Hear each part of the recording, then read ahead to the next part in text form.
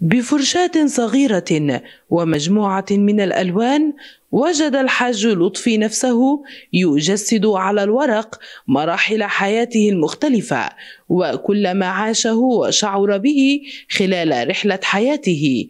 فبعد أن تعلم الرسم خارج البلاد جمع كل شيء بهذا الدكان الصغير الذي يمثل له كل حياته. وأنا صغير كنت بقعد على الطبلية واقعد ارسم وما كنتش أعرف يعني ما كنتش أعرف إن أنا هبقى رسام يعني.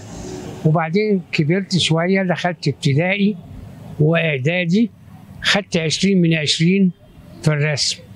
وأنا برضك ما أعرفش إن أنا بس فحسيت إن أنا عندي موهبة و بس. خدت ثانوية عامة وسافرت بره إنجلترا ودخلت أكاديمية هناك أكاديمي.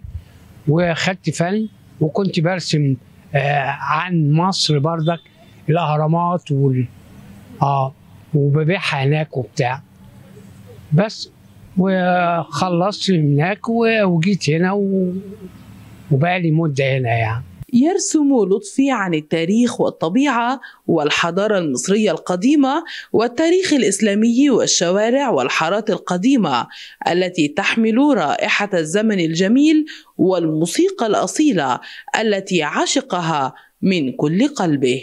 بحب أرسم الشرقي مصر لأن أنا بحب مصر فعلا مش عشان التلفزيون معايا هنا لا أنا بحب بلدي أوي أوي أوي يعني بصراحة يعني.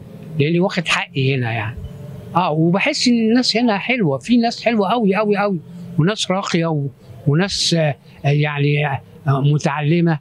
بس ف يعني مش شايف إن بلدي مش حلوة يعني. بلدي حلوة قوي قوي قوي قوي بلدي أمي وأبويا.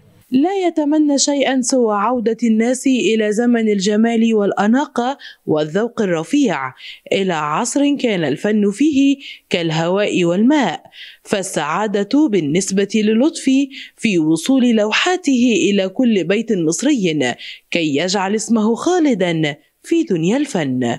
من القاهرة سحر جمال اليوم.